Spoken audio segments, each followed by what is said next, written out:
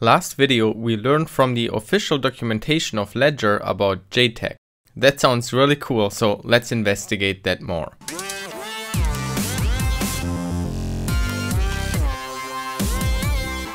On the STM32 description page, you can scroll down and find resources about development tools, specifically to an ST-Link in Circuit Debugger and Programmer for STM8 and STM32 MCUs. This device can do JTAG or SWD stuff.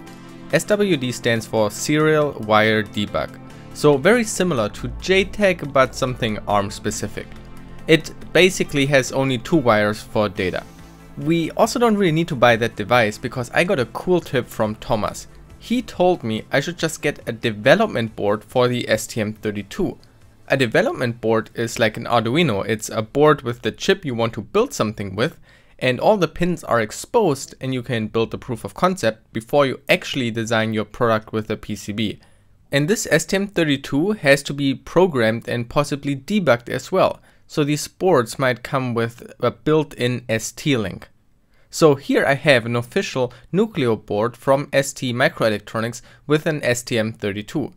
Now I have a different STM32 on here, the F446RE, but that doesn't matter because we are interested in this part of the PCB.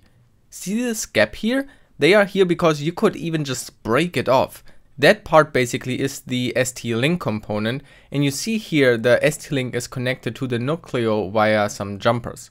A jumper just connects two pins together. So if you take out those jumpers then you just have a bare ST-Link here and the serial wire debug pin headers are exposed here. And on there it also says SWD. In the general user documentation for the Nucleo board, you can also find some details about this SWD debug connector. So that CN4 connector has 6 pins, but the sixth one is reserved and not used right now. Usually the first pin is also marked by something like a dot. Next we have to somehow connect this to the ledger. First is VDD, that's the plus 5 volt of the target. The second one is the SWD clock signal. The third just connects to ground. Then we have the SWD IO pin that one is the actual data carrying pin and we have an exposed reset line that can be used by the ST-Link to reset the target chip. So how do we connect this to the ledger? Let's assume we haven't seen this convenient line of pins on the bottom side of the ledger's PCB and let's look at the STM32F042 datasheet. So we are looking for power, ground, SWD IO, SWD clock and reset. In the pinout table, we can find them. SWD-IO is pin PA13 and SWD clock is pin PA14. And every chip also has a reset pin, in this case it appears to be called NRST.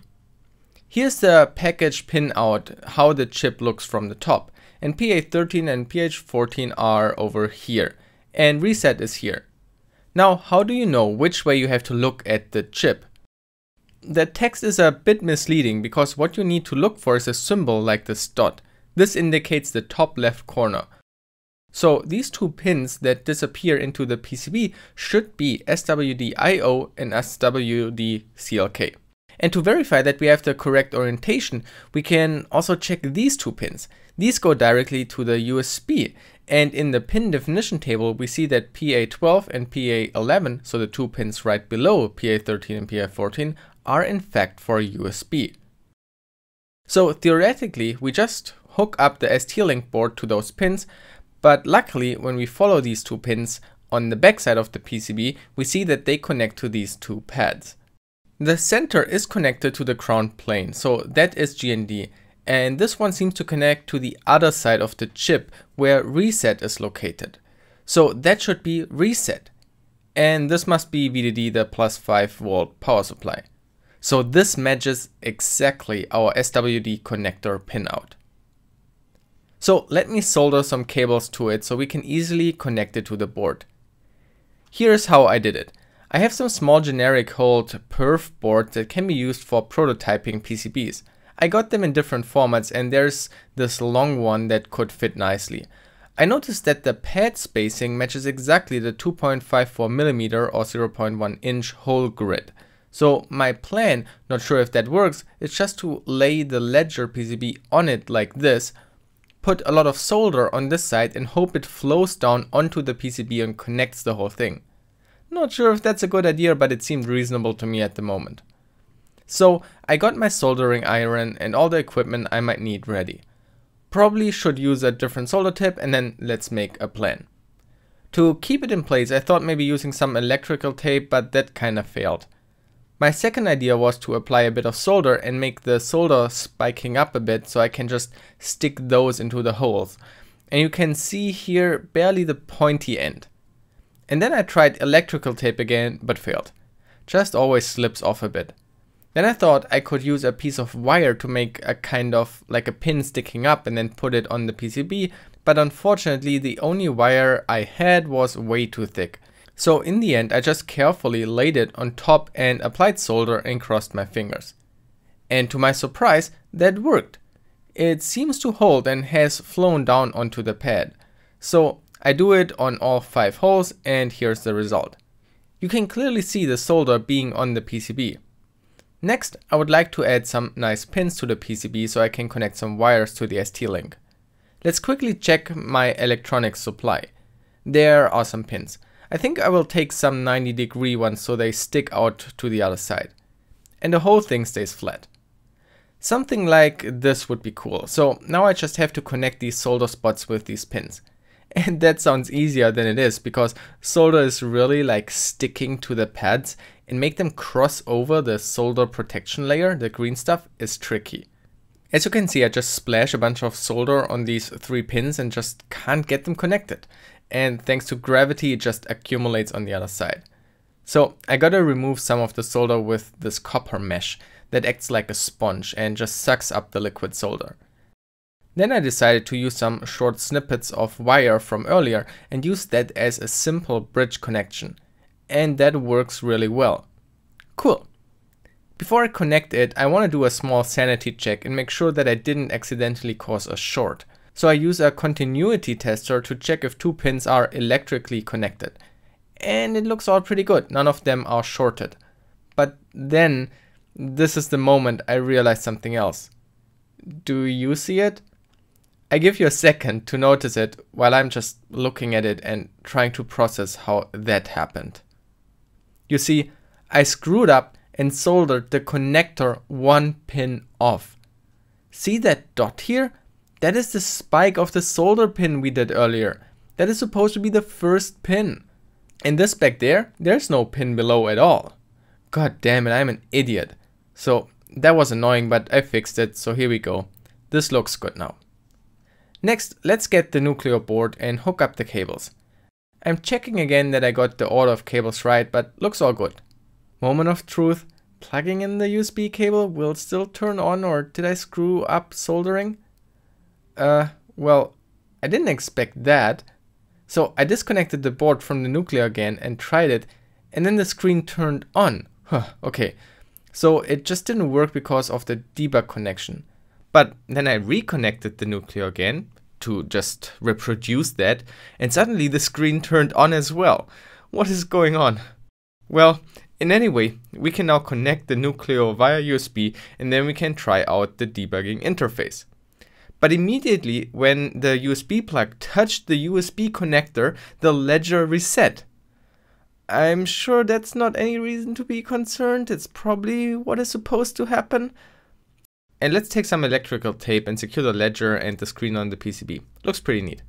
I have to say, I like now how that worked out. So let's connect everything to the laptop and try the tools. I will show those tools in a second, but it didn't work. I was staring at the setup and realized, oops, I had those wires connected wrong. Gosh, I'm so happy that I haven't destroyed the ledger yet, but if we keep going like that, it won't work for much longer. Awesome. Now let's try this. I have ST-Link installed on my Mac, and then we can, for example, run ST-Info to get some chip description. And it answers. It's a F04 device, STM-F04. Let's try the real thing, STUtil. It finds a device, also prints the SRAM and flash size, and now the GDB server is listening on port 4242. Woo! Okay, now we need a special GDB to debug this ARM code. This is pretty simple, just uh, search for ARM none-EABI download and you will find the official ARM embedded toolchain and you can grab the tools for your system, in my case Mac OS X. Once you get that, you just start the ARM none-EABI GDB and connect to a remote target, localhost port 4242. Boom, it worked. We can now continue and with Control C, just break at any point, inspect the registers and even disassemble some instructions. But this disassembly looks wrong. Unlike Intel assembler, where instructions can have different byte lengths, ARM instructions are always 32-bit long. But there are also thumb instructions, and they are 16 long. And in this case, this runs thumb code, and to tell GDB to disassemble this as thumb instead, we ask it to disassemble at address plus 1, so an odd address. Because of this instruction alignment, you always have instructions at even numbers, right? Instructions are either 2 or 4 bytes long. So you shouldn't think of this plus 1 as an odd address, but rather an address that has the last bit set. And this is convention to tell you this is now a thumb code. You might also see this when disassembling ARM and there's a jump or branch instruction to an odd address. It's not an odd address, it's an address that has the last bit set and that means it's switching to thumb instructions from here on out. Anyway, this way GDB will also interpret this as thumb and show us now the real instructions. Now we can use GDB to debug the device. Cool, huh? One last thing. We can use stflash to read the whole flash and create a backup dump of the whole flash. We start to dump the memory from 8000, that's the start of the flash, and then we read 32,768 bytes, which is hex 8000, the size of the flash. And this memory dump contains the whole firmware.